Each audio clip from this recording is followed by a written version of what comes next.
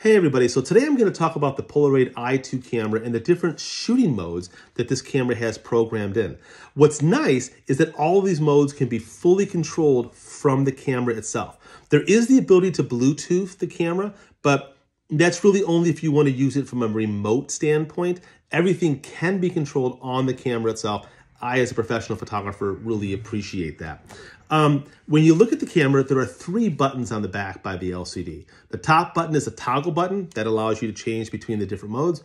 The middle big round button is your power button, and the bottom button is the flash button. It turns the flash on and off.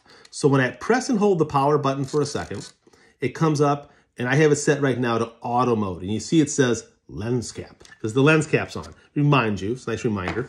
Pull the lens cap off, and in auto mode, the camera does everything for you. The camera will choose what it feels is the best shutter speed and the best f-stop combination to give you a successful exposure of what's in front of the lens. Now, I almost never use auto mode. I would only use this mode if I was handing this camera to my mom and wanted to have a successful photograph, or if I was, say, new to photography and I just wanted someone to go out and I, and I wanted them to have the creative experience of working with Polaroid, this is a way to get people photographing without having to get into the specifics too much. So auto mode really is exactly what it says. Camera does everything for you. If I press the line button, it scrolls to the next mode, which is aperture priority. I love aperture priority. I probably use aperture priority for 90% of my working style on a camera like this.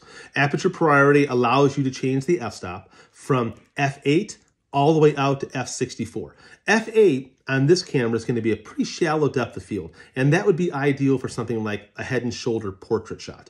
Whereas something like f45 or f64, it's a very small opening, and it's going to give you an enhanced sense of depth of field and a greater sense of sharpness. So it's good for something like a landscape. But it also might be necessary on a bright sunny day on a beach in order to balance uh, the range of shutter speeds capable in this camera.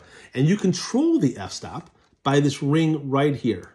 So you can see on the dial there it's going from, uh, let me see, here we were at F8, now it's going to 11, 16, 22, 32, 45, 64. Um, and as you can see, as I change the f-stop, the camera is changing the shutter speed so I get a proper exposure. Um, aperture priority, as I said, is one of my favorite. And another thing that I love when you're in aperture priority Right here on the top of the camera is an exposure compensation dial. It goes plus and minus two stops, and it's in third of a stop increments. So I could say, okay, I want to work at F11, but I want to go a slight tweak on the exposure. I'm hoping if you can see this here. A slight, you see how the shutter speed is going into uh, fractional differences? It allows me to tweak the exposure. So if I know, let's say for instance, I want to do a portrait at F8. So, okay, so I dial it into, let me see here, F8. And then let's say the person is slightly backlit. I'm smart enough from photographic experience that I know I need to overexpose that scene by a stop and a third. So I can dial in that stop and a third and I get a perfect shot. Let's say someone is in a window light, side window light like I am right here. I know that I need to overexpose by a stop in order to have the proper exposure. So having the ability of controlling your f-stop for your depth of field is amazing. But then having the ability of using the exposure compensation dial in plus or minus two stops in one third of a stop increments is amazing. Absolutely changes your working with Polaroid material. And one of the reasons why this is so important to have this degree of control is that Polaroid material has a narrow exposure latitude. It doesn't have a whole lot of forgiveness in terms of under and over exposing. Doing a third or two thirds of a stop adjustment where there's a bright area in a frame or a dark area might be too much. It might push that area too bright or too dark. So having this level of finesse when you're working on something like aperture priority is absolutely amazing.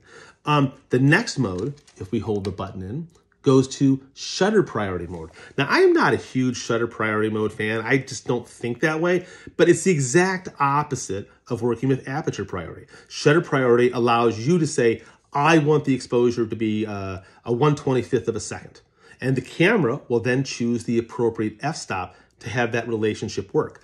and let's say you're choosing that uh, shutter speed because you want to freeze the action in a frame. There's someone on a skateboard or someone riding a bike.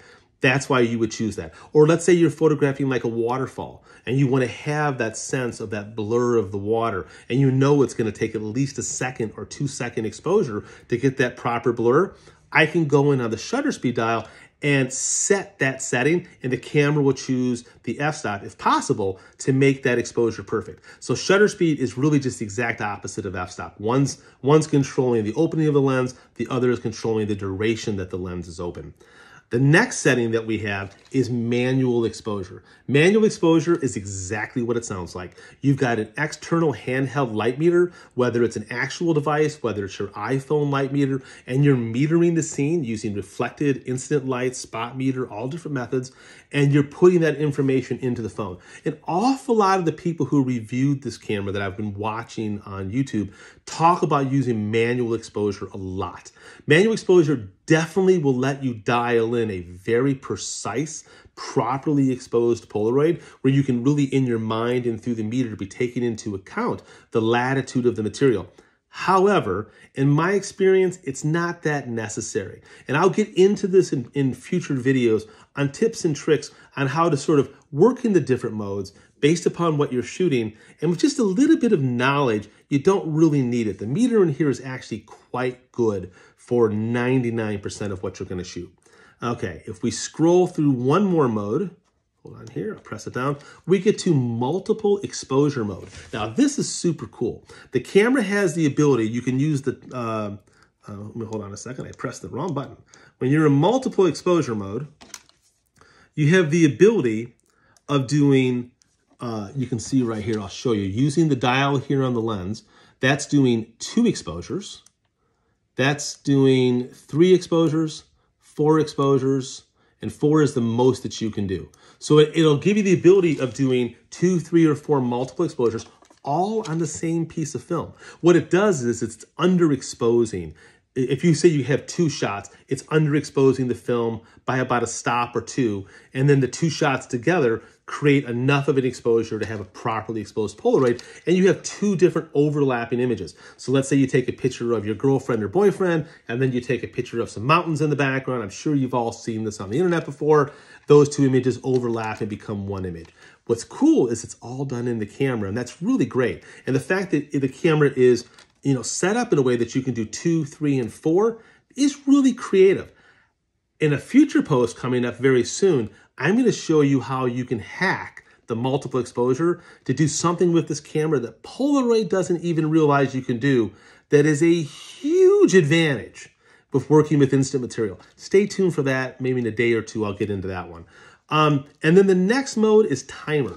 Timer mode uh, is really great because the camera doesn't have a cable release setting anywhere on here, you use the timer mode to do like a delay time. So let's say you want to take a group picture, you want to run in the frame, you can do that. Once again, you use your dial right here and you can set the amount of time that you want. And I believe if I remember correctly, yeah, it goes from three seconds to six seconds to nine seconds to 12 seconds. That's great. You can also use the timer as like a cable release. So I could set the timer to three seconds, put this on a tripod, press the button, let my hand go so there's no vibration of the camera for me pressing the button, and then it'll take a great, nice, sharp shot, especially for like a long exposure. So the timer mode is really helpful.